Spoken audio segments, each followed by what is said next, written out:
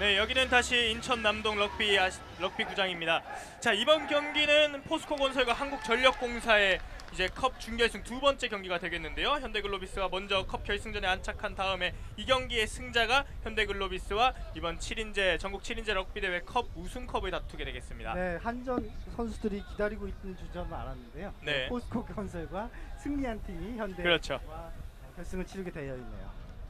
자, 한국전력과 포스코 건설 양 팀의 선발 라인업입니다. 포워드의 이, 포스코 건설, 포워드 이진석, 포워드 차성균, 포워드 이현우, 그리고 스크럼 하프 신기철, 백 오지명, 백 오, 김원영, 백 유준홍입니다. 그리고 이에 맞서는 한국전력, 포워드 한건규, 포워드 김정민, 포워드 김현수, 스크럼 하프 박완용, 백 오윤영, 백 김나무, 그리고 백 이성배가 경기에 참여해 있습니다. 그리고 한국전력의 킥오프로 경기가 시작됩니다. 네, 한국전력은 명실상부한 국가대표 팀이다 네. 라고 얘기할 수 있을 정도로 일곱 명 선수 모두가 국가대표 출신이에요. 네. 네. 사실상 우승 후보 영순이라고 볼 수 있는 것이 또 한국전력 아니겠습니까? 그렇죠. 작년 우승팀이기도 하고요. 네. 네. 포스코 건설도 좋은 선수들이 많이 포진되어 있는데요. 또 그 현대도 이겼고 어제 어, 연세대학교도 이겼기 때문에 대단히 강한 팀이라고 얘기할 수 있어요. 그렇죠.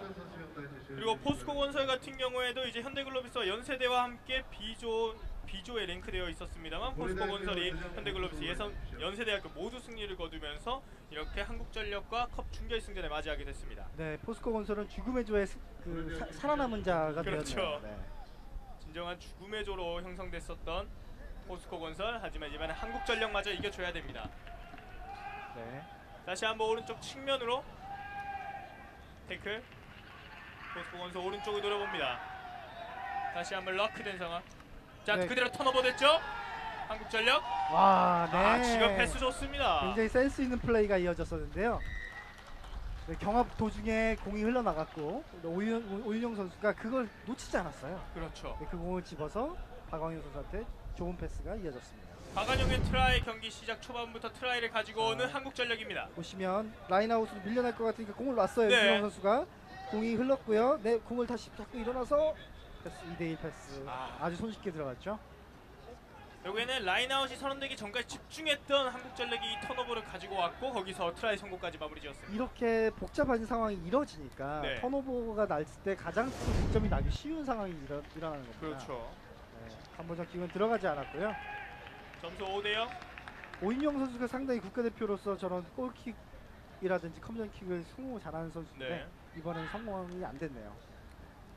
자 컨버전 킥 사실 거리가 가까워서 쉬워 보이긴 하지만 이 럭비공의 특성상 참 힘든 것이 또 컨버전 킥인데요 그렇습니다. 지면에 공을 튀기는 드롭킥으로 차는 거기 때문에 그냥 네. 들고 차는 게 아니기 때문에 굉장히 어렵습니다. 저는 저는 잘 못해요.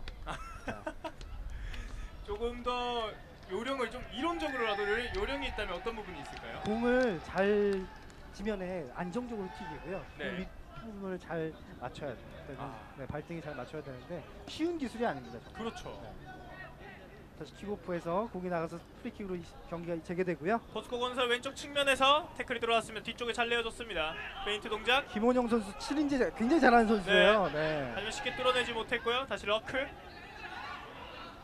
지금 이 양, 왼쪽을 선택합니다 잘 내어줬죠 하지만 숫자가 조금 부족한데요 네. 다시 한번 러크 포 건설에는 김원영 선수와 유준홍 선수가 국가대표 출신이고요. 차성균 선수도 지금 공을 갖고 들어간 차성균 선수 국가대표 출신입니다. 네. 다시 한번 센터 쪽에서 왼쪽을 봅니다 페인트 동작 김원영 이후에 다시 줬는데요 아. 이번엔 패스미스 인터셉트 해냅니다 네. 한국전력 한 손으로 그 공을 막아냈네요. 그렇죠. 네. 네, 자, 역습입니다. 역습이에요. 있습니다. 2대1. 수비 숫자 두 명. 숫자 싸움이에요. 자 이제부터 하지만 또 스피드가 스피드로 한 명을 제쳐냈습니다. 그리고 한 명 더 이걸 태클까지 이겨냈는데요. 패스 내어줬죠. 태클 두 선수가 요! 번갈아 받으면서 여기 트라이 라인까지 아주 무사 안착합니다. 네, 김정민 선수의 특유의 트라이 세레머니가 나왔는데요. 김정민의 멋진 트라이까지. 네, 역습을 또 이용해서 그렇죠.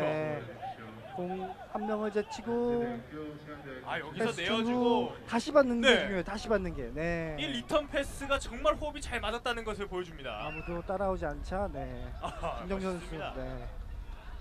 부상이 좀 우려되기도 하는데 연습을 많이 하는 것 같아요. 네. 평소에. 주변을 살피고 슈퍼맨 세레머니를. 그렇죠. 아 저런 장면 많이 나와준다면 또 뭐 럭비 팬들 입장에서 아주 좋아할 것 같은데요. 맞습니다. 어, 이번에도 들어가지가 자 않았네요. 이번 컨버전 킥도 미스가 나면서 점수는 10대 0 한국전력이 앞서고 시- 앞서게 됩니다. 그렇기 때문에 여유가 있다면 럭비에서는 가능하면 골대 근처에 트라이를 하는 것이 네, 유리합니다. 그렇죠. 네, 각도가 더 차기가 편해지거든요. 결국에는 이제 수직으로 컨버전 킥 위치가 정해지기 때문에 조금 더 포인트에 가까이 그렇기 때문에 라인 안쪽에 들어간 선수들이 여유 있게 포인트 근처까지 가는 거죠. 그렇습니다. 그걸 또 막는 것도 중요하고요. 네. 아, 킥업 잘 찼고요. 자 이번 저- 10m 라인 아, 잘 잘 따냈습니다. 잘 따냈어요. 포스코 건설. 포스코 건설 입장에서는 전반전에 트라이 하나가 들어가게 싸움이죠. 이제 필요가 2대 있습니다. 1이에요. 2대 1. 네. 자 왼쪽에서 오. 태클 조금 위험한 장면이었는데요. 러크 이제 다시. 숫자 싸움이죠. 다시 숫자가 많아요. 포스코 건설. 볼이 빨리 나오면 이제는 태클이 잘. 들어왔는데요. 그대로 턴오버 그리고 막을 숫자가 없습니다. 다시 한번 여유 있게 포인트. 근처까지 트라이 성공시킵니다. 네 국가대표 주장이기도 하고요. 네, 한국전력의 주장인 아 김현수 선수가 네. 이어졌습니다. 김현수 선수의 트라이 지금도 결국에는 오히려 힘겨루기를 하던 포스코 건설 입장에서 조금 아쉬울 수 있겠어요. 네 날씨가 아무래도 덥다 보니까 집중력이 좀 떨어지는 것도 네. 보이는데요.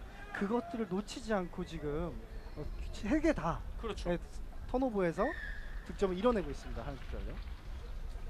자 한국전력 지금은 컨버전 킥을 이번에는 성공시키면서 점수가 17대 0이 됐습니다. 네, 저 앞에서 차는 건 아무래도 굉장히 쉽겠죠. 네. 그래서 자 여기서 턴오버 된 이후에 속도로 잡을 자가 없었습니다. 김현수의 트라이.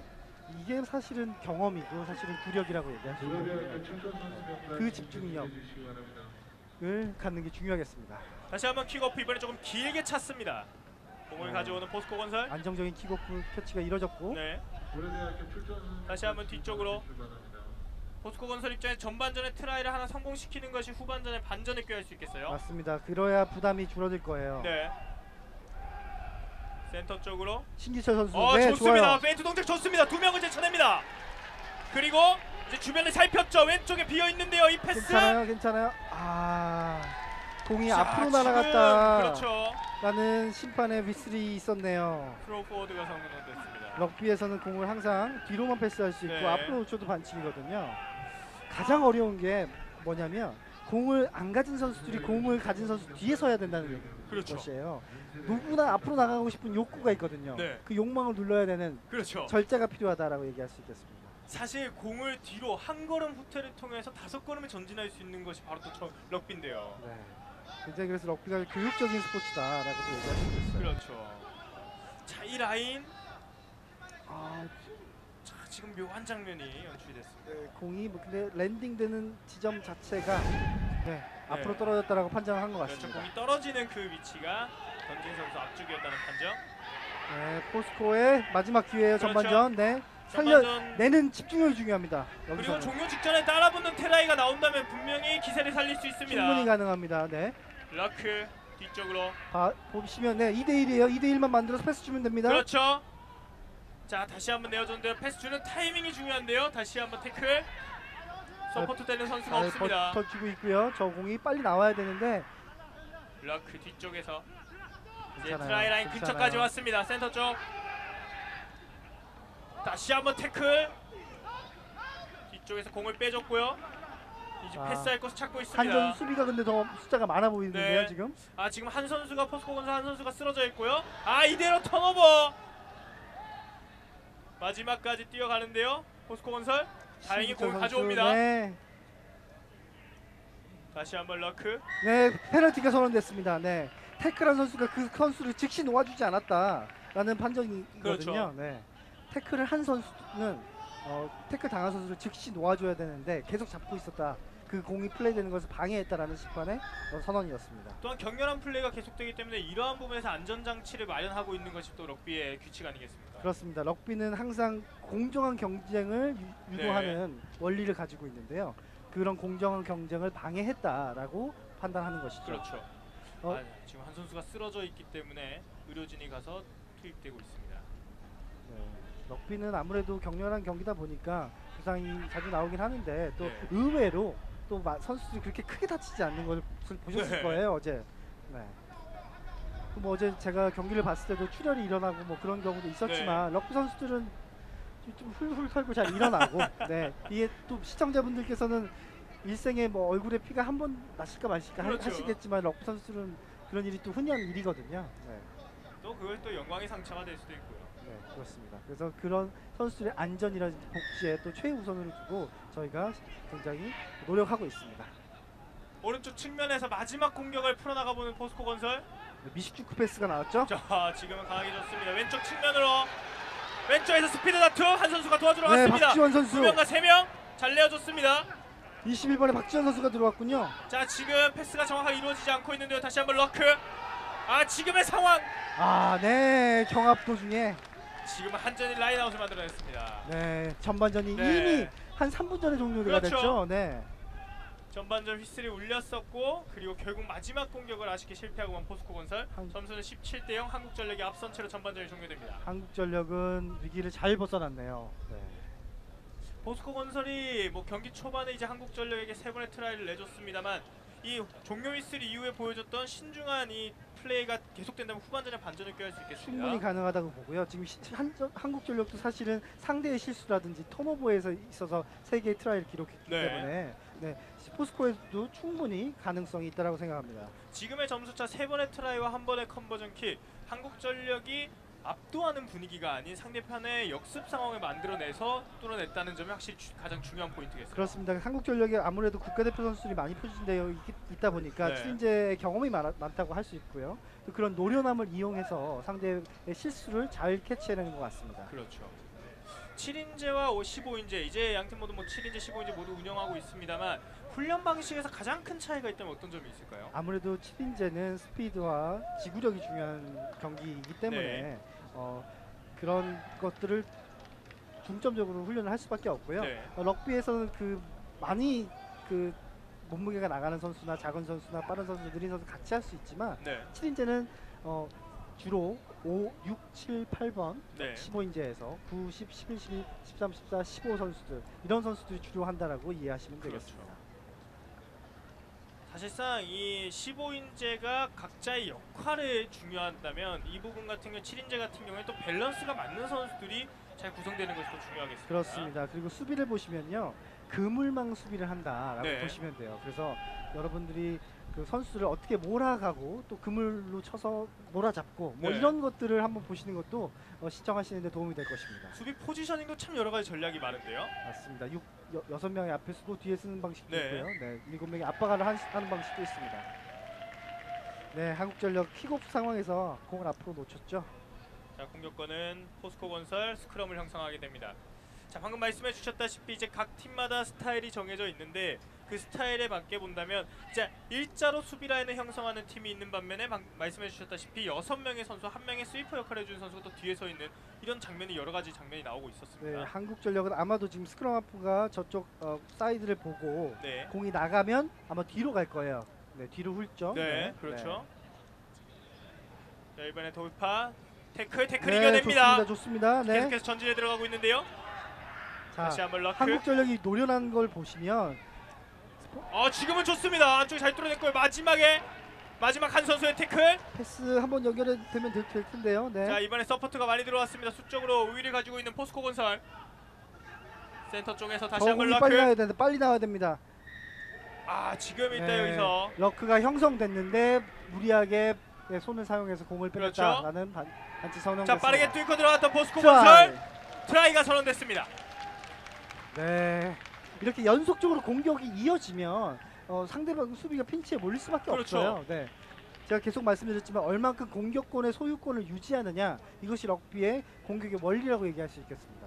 자 지금은 결국에는 포스코 건설이 계속해서 몰아붙이고 그리고 빠른 타이밍으로 가져갔던 공격이 주효하면서 결국엔 트라이 그리고 게다가 이번엔 conversion 킥까지 점수 17대 7이 됩니다. 네, 잽잽 날리다가 스트, 스트레이트를 안 흘리는 것처럼 그렇죠. 네, 계속 문을 두리, 두드리다가 네, 그대로 들어갔습니다. 네, 트라이 라인 근처까지 와서는 본인이 스스로 해결을 해봤던 건설. 네, 17대 7과 17대 0은 전혀 다른 그렇죠. 스코어거든요. 네. 10점 차이라면 충분히 또 뒤집을 수 있는 경기의 양상이 있을 수 있을 것입니다. 한국전력이 일단 앞선 두 번의 conversion 킥을 놓치고 한 번만 성공했다는 점 포스코 건설은 일단 성공을 했기 때문에 점수가 10점 차밖에 나지 않습니다. 네. 이번 경합 도중에도 포스코 건설이 앞으로 공을 놓쳤기 때문에 네. 스크럼으로 경기가 재, 재개되겠습니다. 아쉽네요 이번에 이번 장면은. 그렇죠. 킥오프가 결국 가장 중요하다고 얘기해 주셨는데 역시나 이런 장면에서 공격권을 유지하는 것이 포인트다라고 볼 수 있겠죠. 네. 지금 포스코 원술의 21번 어, 박지환 선수는 나이가 한국 나이로 35살이에요. 네. 그래서 아직도 선수 생활을 한다는 것은 대단한 것 같습니다. 그렇죠. 본인 관리가 정말 투철하다는 것을 느낄 수 있네요. 자 여기서 볼 투입. 오, 다시 한번 좋았고요. 뒤쪽으로. 네. 일단 공의 소유권은 한국전력이 가지고 있는 것으로 보입니다. 네. ruck 뒤쪽으로 공을 내어줬죠. 센터 쪽 왼쪽 자 이제 2대1 한 번의 페인트 동작 이후에 김성수 선수 자 잠시 태클이 돌았는데 계속해서 태클은 이겨내고 있습니다. 왼쪽 측면 다시 한번 스피드 다툼 스피드 다툼 이성배. 왼쪽 측면으로 한번 페인트 동작 좋습니다. 그리고 두 명 사이에서 이번에 아, 태클하지만 강력한 태클에 그렇죠. 의해서 앞으로 공을 놓치고 말았습니다. 이대로 어드밴티지가 적용되면서 포스코 건설 페인트 동작 좋았는데요. 일어나지 못하네요. 어드밴티지 주어졌고 이제 아마 해제가 된 것으로 보이고요. 다시 한번 뒤쪽으로 오른쪽 패스가 조금 부정확했습니다. 네, 그 전에 네 ruck가 형성된 상황에서 오프사이드가 이- 이- 벌어졌기 그렇죠. 때문에 그 자리에 돌아가서 페널티가 주어지겠습니다. 어, ruck에서 오프사이드는요. 네, 보시면 네 김성 선수의 자, 돌파 여기서 장면이고요. 돌파 장면 좋았는데요. 네, 이 태클을 피하고 나서도 몸의 균형을 유지하는 밸런스가 아주 네 좋았습니다. 이성배 선수 좋았는데 태클을 걸리면서 앞으로 놓치고 말았죠. 그렇죠. 네, 이 장면에서 장면입니다. 태클 그렇죠. 좋았고요. 네. 포스코 건설이 페널티 얻은 것을 밖으로 차내서 그 지역적 이득을 얻고요. 네. 네. 거기서 라인아웃 공 투입권을 가져가게 되, 겠습니다 주로 15인제에서 이런 장면들이 참 많이 벌어지고 있는데요. 네, 라인아웃 장면이 지금 네 높이에서 아 지금은 네 공을 잡지 못했는데 한전 선수들이 그 거- 라인아웃 하는 곳을 침범했다라는 어, 판정이 일어났고요. 바, 다시 자 공격권은 포스코 건설입니다. 네, 왼쪽에서 좋은 기회 이어지고 있고요.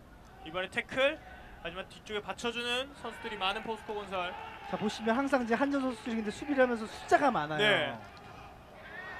들어가야 될 때와 들어가지 말아야 될 때를 안다는 것이죠. 그렇죠. 네. 아니다 싶으면 주고 다음 걸 보는 거예요 한전 선수들은. 그, 그 그게 노련미거든요. 그것이 노련이고 경험이고 또 이들의 실력이라고 볼 수 있겠는데요. 그렇죠. ruck에서 경합해서 싸워서 우리가 공을 획득할 수 있다라고 해- 했을 때는 많이 들어가더라도 아니다 싶었을 때는 항상 한전 수- 선수들이 숫자가 많은 것을 볼 수 있습니다. 그렇죠. 결국엔 럭비는 숫자 싸움이거든요. 그렇죠. 한국전력공사가 지금까지 총 3경기를 치르면서 트라이를 단 3번밖에 내주지 않았고 포스코 건설에게 내준 트라이가 네 번째 트라이입니다. 네, 명실상부한 최고의 네. 뭐 칠인제 팀이다. 일곱 명 선수가 전부 다 국가대표 출신이니까요. 네, 지금 한국전력 마크가 아니라 태극기를 붙여도 이상하지 않습니다. 그렇습니다. 포스코 건설 하지만은 지금의 점수 차라면 충분히 이길 수두 있습니다. 개 정도는 충분히 따라잡을 네. 수 있고요. 김원영 선수라든지 한방 있는 선수들이 충분히, 그렇죠. 충분히 있거든요. 아 여기서 킥 해놓고 본인이 뛰어 들어갑니다. 다시 네. 한번 킥.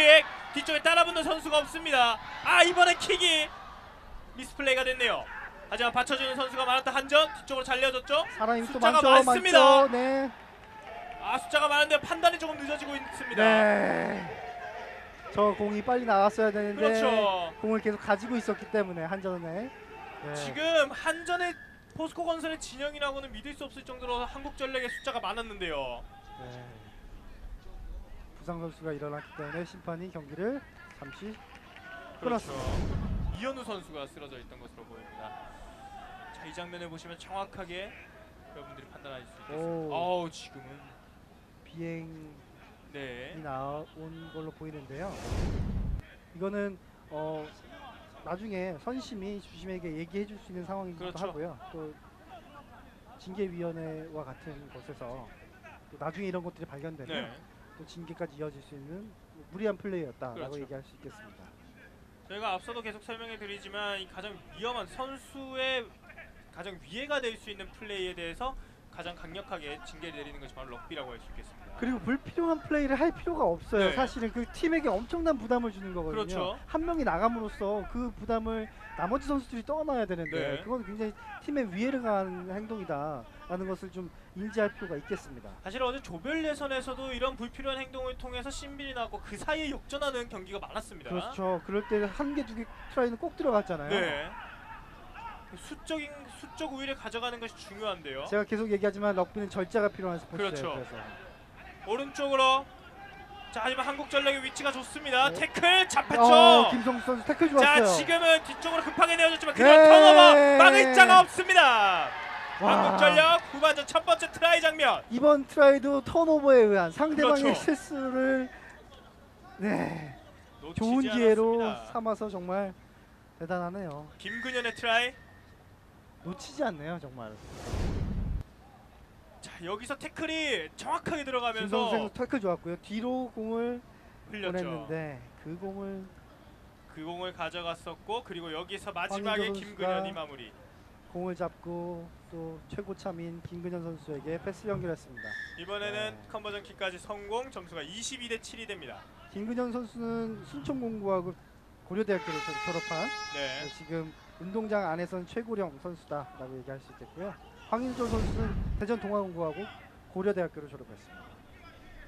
참 이렇게 이제 베테랑으로서 계속해서 경기에 뛰어주고 또 오늘 날씨나 네. 어제 오늘의 일정을 본다면 참 힘든 일정인데요. 일상생활도 힘들 정도의 네. 사실은 날씨인데요 지금 네, 마지막 공격 자, 포스코 포스코 건설 건설은 뭐 승패와 관련 없이 마지막에 네. 최선을 다하는 것이 포기하지 필요합니다. 않는 모습 멋있습니다 정말 그렇죠.